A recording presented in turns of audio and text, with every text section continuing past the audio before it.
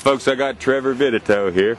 Uh, Trevor, how's your rehab gone with your shoulder? Uh, really well. Um, I went home over Christmas break and actually kept doing all the stuff that I should have been doing. And I went to my high school and did a lot of uh, rehab work with my trainer back in high school.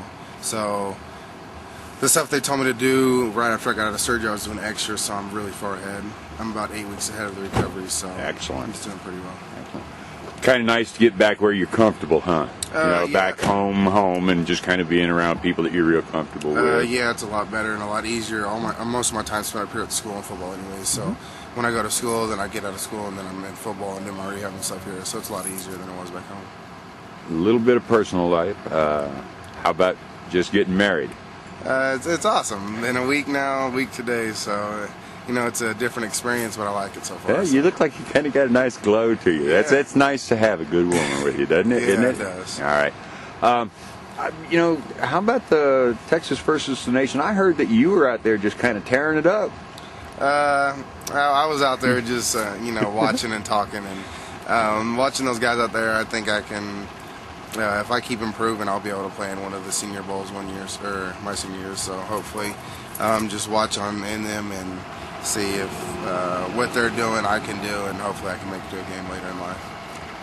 Uh, a little bit different. You got you lost your your running back, Marcus Thomas.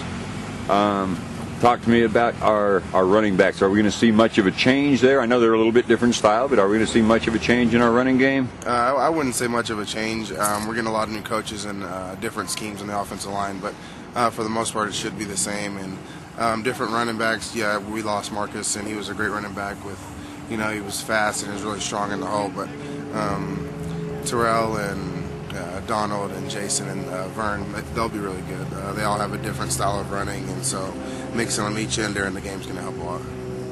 uh, Jeff Moturi.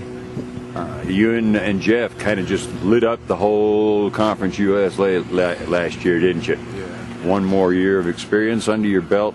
It's going to be super this year, isn't it? Yeah, it should be. Um, he, he's a really good athlete, and he works really hard to get better. So. Do you have some uh, other receivers that you're going to be kind of reloading with? Have you seen some of the other receivers that, that might come in and that might Uh, really yeah. start hitting? Yeah, a lot of the younger guys have stepped in and trying to fill the roles of Lauren and Joe leaving. So um, Fred Rouse should be better coming back this year, and um, obviously Jeff's going to be doing well. So those younger guys, if they can step in and keep their heads up the whole time, then they'll be good. Fantastic. Hey, I really do appreciate you. I don't want to let you go. It's all right. Thanks again. All right. I'll see you soon. All right. All right.